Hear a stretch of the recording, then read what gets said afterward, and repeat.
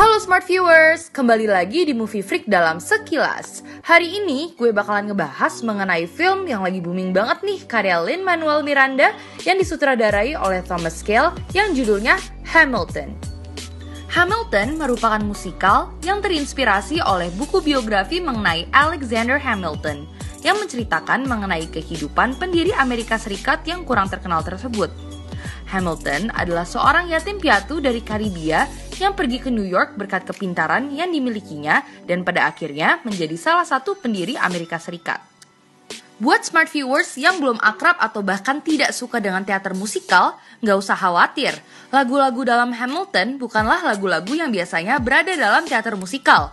Yang bikin Hamilton unik adalah ceritanya yang dibawa dengan musik rap, R&B, dan pop yang dijamin bakal bikin smart viewers nari-nari dan ketagihan untuk dengerin.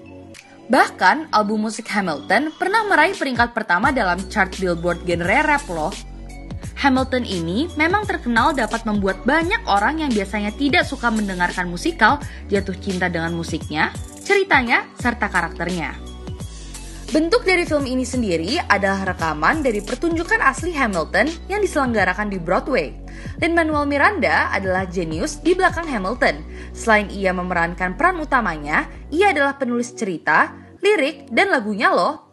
Ceritanya dan lagu-lagunya mampu membuat kita peduli dengan karakter-karakternya.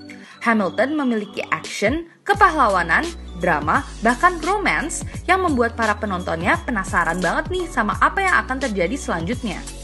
Pokoknya smart viewers bakalan terpukau banget deh sama ceritanya, bahkan tertawa atau bahkan menangis. Apalagi cerita tersebut dikemas dengan lagu-lagu dan koreografi yang tak kalah menawan. Lin-Manuel Miranda sangat jago dalam memainkan Alexander Hamilton. Ia dapat menyampaikan determinasi, keambisiusan, dan emosi Hamilton secara baik sehingga dapat menarik simpati dari penonton.